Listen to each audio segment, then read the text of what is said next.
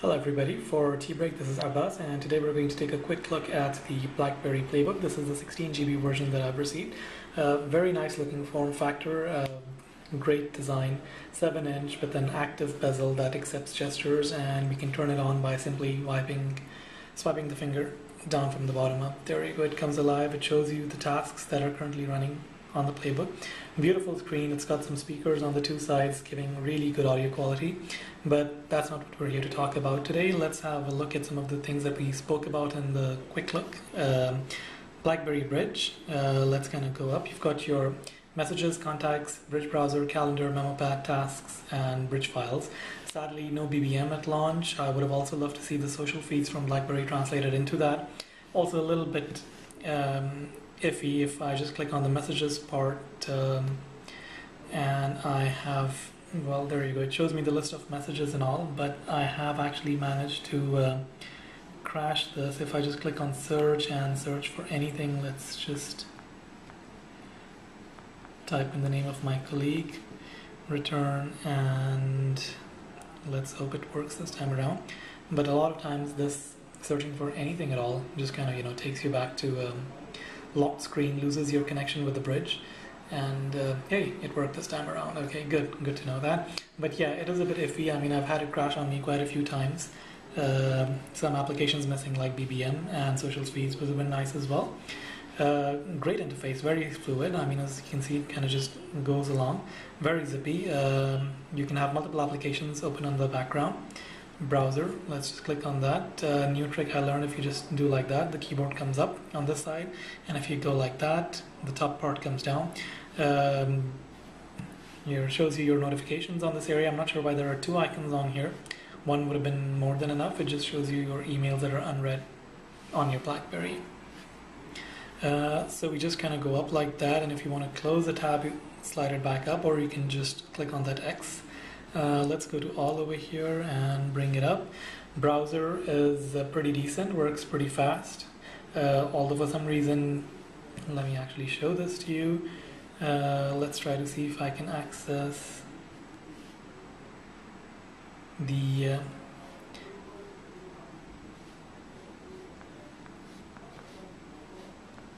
tablet version of Gmail.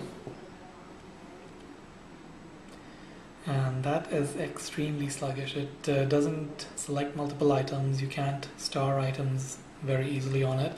You can switch to the desktop version which isn't very optimized for, uh, for a tablet um, and you know you end up tapping at the wrong area pretty much all the time.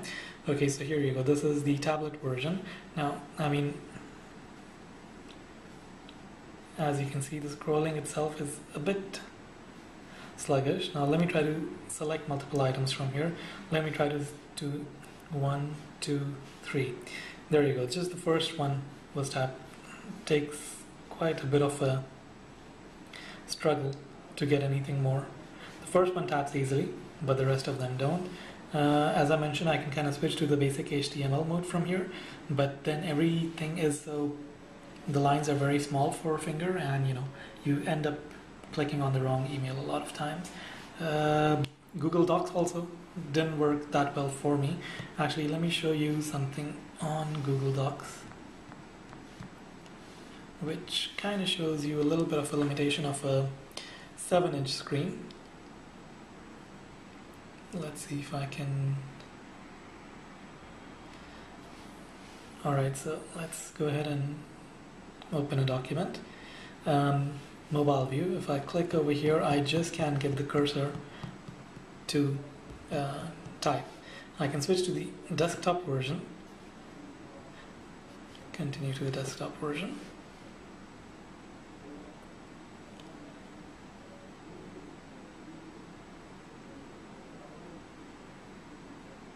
So this does does bring up the browser and it does bring up the cursor as well. No keyboard by tapping but I managed to get the keyboard up doing that. But then look at how much space I have to see my document. I can barely see my document. Now I can kind of click over here and make the browser bar a little bit smaller but again barely like two or three lines that I can see over here. Um, if I switch it to uh, the portrait mode then I lose out some of the top bit of uh, well there you you can see the lines that are cutting off. I can't access the left and right side of my document. So yeah I mean there are a few issues with the playbook. I think it has uh, it has good potential. Let me just try to bring it up like that. You can set the orientation lock um, from here. Uh, yeah, I mean, good thing that kind of came up. So basically, you can swipe between applications if you start from the bezel. It kind of, you know, moves you to different applications. That is Need for Speed that's playing on the back. Excellent speed, you know, very, very fast, where you can just tap up and then move to wherever you want to. Kobo Books is um, included for your uh, ebooks reader. Uh, let's go back. All media, you've got uh, podcasts, music store, videos, uh, all of that on there. Let's go back to all and show you some of the other applications on here. Uh, you've got Word to go, Sheets to go, and Slideshow to go, which does work. Twitter and Facebook are just um, your apps on the web. Um, they aren't applications by themselves. So it's got potential. I think it's got great potential, but RIM needs to work on the software, bring in a lot of apps that people use, improve the bridge functionality, and I, I think they have a solid product over here that over time could possibly uh, be refined to be a true iPad challenger. But uh, RIM really needs to work on that, get it up and running fast. Um, for tbreak.com, I hope you enjoyed this quick look on the BlackBerry Playbook. This is Abbas Jaffar Ali.